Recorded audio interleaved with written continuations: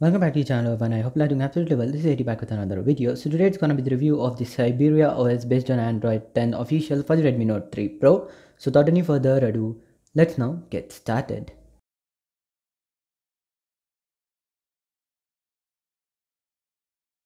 So here's my Redmi Note 5 Pro running the Syberia OS. Let me first show you the about device section before talking about anything else. So going into the Android version and here it is. As you can see the android version is obviously android 10 the latest from google which is expected. And yeah this ROM is also pretty much similar to other Android 10 ROMs which I have reviewed on this channel. There are slight differences like in performance and battery life. I'll be talking about that in the later part. So do watch this video until the end. As you can see the kernel again is the same which we have seen earlier in some other roms too android 10 roms and the version is 3.10.108 kernel more x69 build date is april 17 2020 friday. This is the latest build at at the time of recording this video. Syberia version it says version 3.6 security patches of 5th of april 2020 which is expected. Today is 1st of may by the way and with the latest build it will be synced with the May security patch. And yeah here it is.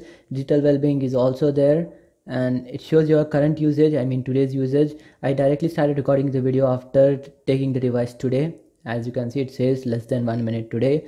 And advanced control 2 here it is. This is also called as xiaomi parts in some other roms. I've already reviewed all these in like so many roms. You can check it out. It's basically like there is a performance mode over here performance settings. If you put it on performance pubg gameplay is a little bit different.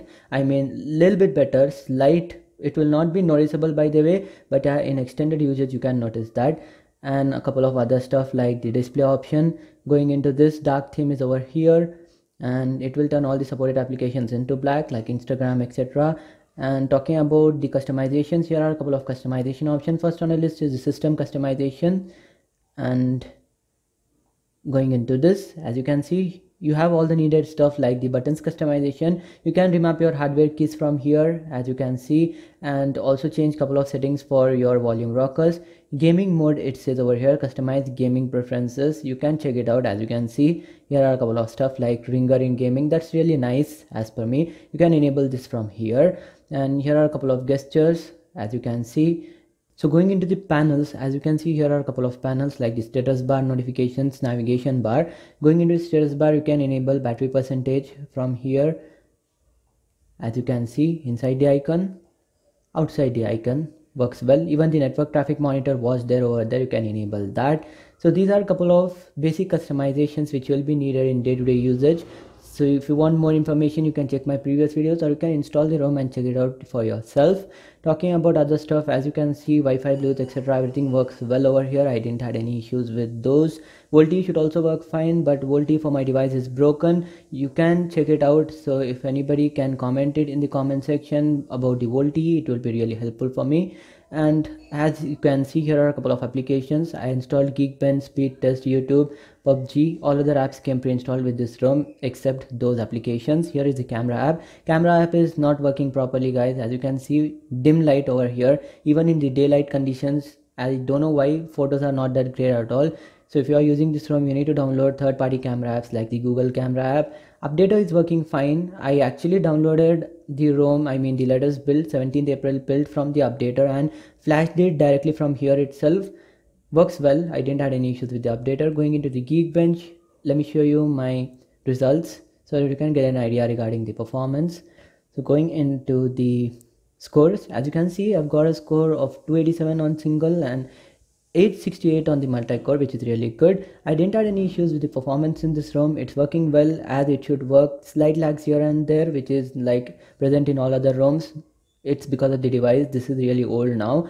And pubg gameplay is also really good. You can play pubg definitely you can play pubg no any issues with that. It was playable for most of the part and even in the extended usage it was working well. I didn't have any issues with that. Sound output etc is also really good. I didn't had any issues with those two let me show you my battery usage till now so going into the battery. And guys this is not that accurate i'm telling you straight away because my device was on standby for most of the time. As you can see i installed this rom like three days or four days ago and I should say that this ROM is having one of the best standby times in an Android 10 ROM till now what I have tested. Here it is, it's still running on 34% and Wi-Fi was on for like all the 4 days, day and night i didn't switch off until there was some power cuts and yeah here is my results so till now the battery in this ROM is really good. I didn't had any issues with the battery like there is no any standby drain and even the standby time I mean the screen on time was really good. PUBG gameplay it was just draining 3% of batteries